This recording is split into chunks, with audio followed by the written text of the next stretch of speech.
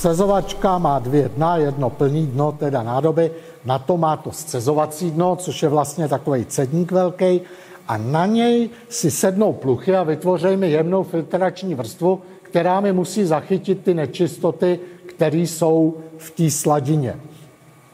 No a při tom podrážení jednak utahuju tu vrstvu těch pluch tak, aby byla zhutněná a lepší filtrovala, a jednak potřebuju vymejt ty kaly, které se mi dostaly při přečerpávání vlastně už pod to scezovací dno. Takže vlastně při tom podrážení cirkuluju tu sladinu, tadyhle takhle těma dvěma trubkama, do čerpadla zpátky, tady přes průhledítko si kontrolujeme čirost té sladiny a jde mi to zpátky do té scezovačky.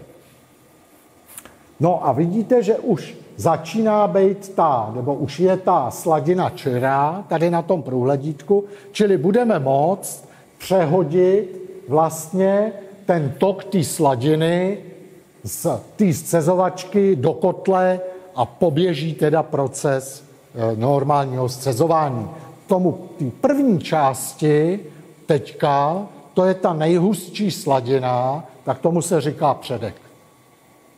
Čili teďka je fáze scezování předku. Důležitý je, aby si on tady tím ventilem, tady, si potom vlastně nastaví rychlost proudění té tekutiny, protože kdyby byla moc malá, tak to bude jednak trvat dlouho a jednak se mu to mláto, ta, ta, ta, ta, ty pluchy se mu zase rozvolnějí a teklo by to kalní. Když to bude moc rychlý, tak si ty pluchy moc utáhne a ono se mu to ucpe a bude to muset zastavit celý ten proces a prokopat a tak dále. A to je na zkušenosti toho sládka u nás, aby si to tak nastavil, aby to teklo optimálně. Když to jde dobře, tak vlastně celý ten předek scedí, aniž by třeba musel pustit kopačku a a musel to zastavit ten proces, rozkopat a tak dále. To trvá zhruba hodinu, hodinu a půl, záleží na typu piva. Takže přehodí teďka klapky, jednu uzavře a jednu otevře. Takže zavřel vlastně tu trasu zpátky do scezovačky a otevřel, otevřel trasu do kotle. Musí to dělat plynule jedno otvírat a jedno zavírat, tak, aby nevznikl ráz, protože kdyby vznikl ráz, tak by se mu mohlo hnout to lože těch pluch a uh, buď by se mu to zakalilo, nebo by se mu to mohlo utáhnout. Takhle, Vidíte, že přibývá, není to nějaká závratná rychlost. Teďka se scezuje předek, to je vlastně ta nejhustší část, to je ta první sladina ale on samozřejmě pak bude ještě vystřelkovat, to znamená, bude promejvat ty pluchy vodou. To znamená, že mm, naplní v podstatě tu káč skoro celou, nebo ten kotel naplní e, skoro celý. Ono ten předek taky má výrazně vyšší koncentraci, že? takže ten bude mít nějakých 14,5. To teďka bere vzorek, protože chcem tu sladinu ochutnat. Ze sladiny z předku se v pivovaře dělá takzvaný eh, sládkův grok, to znamená, když se do toho přidá rum nebo slivovice, tak v zimě je to zdraví na prsa. Ale v podstatě na to můžete uh, poznat, jak už na té sladině, jestli tam nebude třeba připálená nějaká nebo tak. Tohle z toho, teď toho předku, toho tmavého je takový tam je hodně toho barvicího znát. No, ale nebude, ale to... protože nemá to, nemá to výrazně cikorkovou, nemá to nějakou výrazně cikorkovou chuť.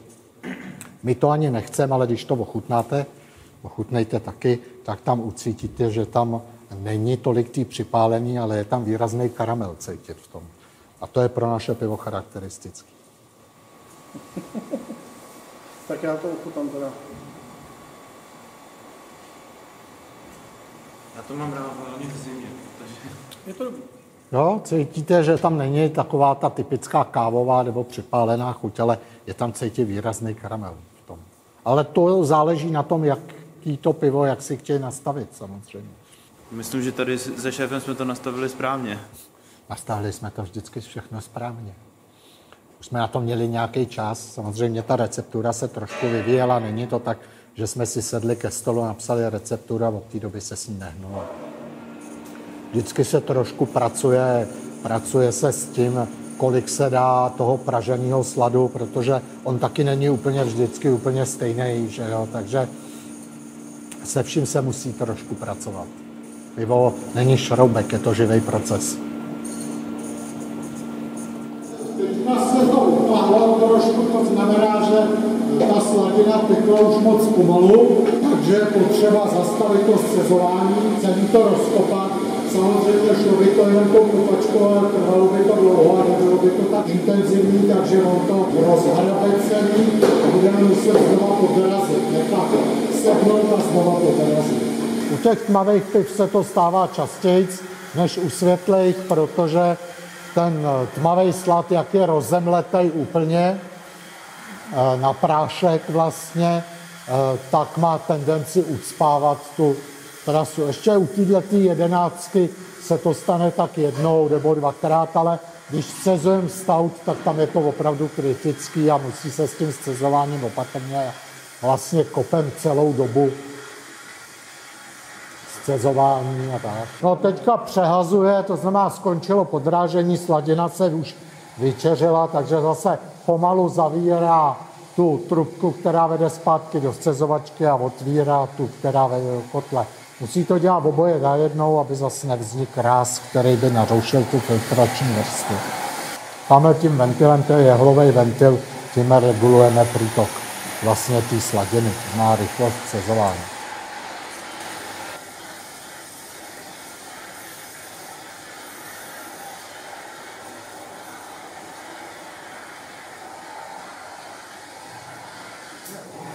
To je jehlový ventil, který slouží k regulaci průtoku té sladiny. A protože to je jehlový ventil, tak když se utrhne nějaká plucha, tak by se mohlo stát, že se to tam přiucpe, proto on s tím takhle vrtí, aby ty ucpaný, ulpělý pluchy, aby eh, v podstatě uvolnil.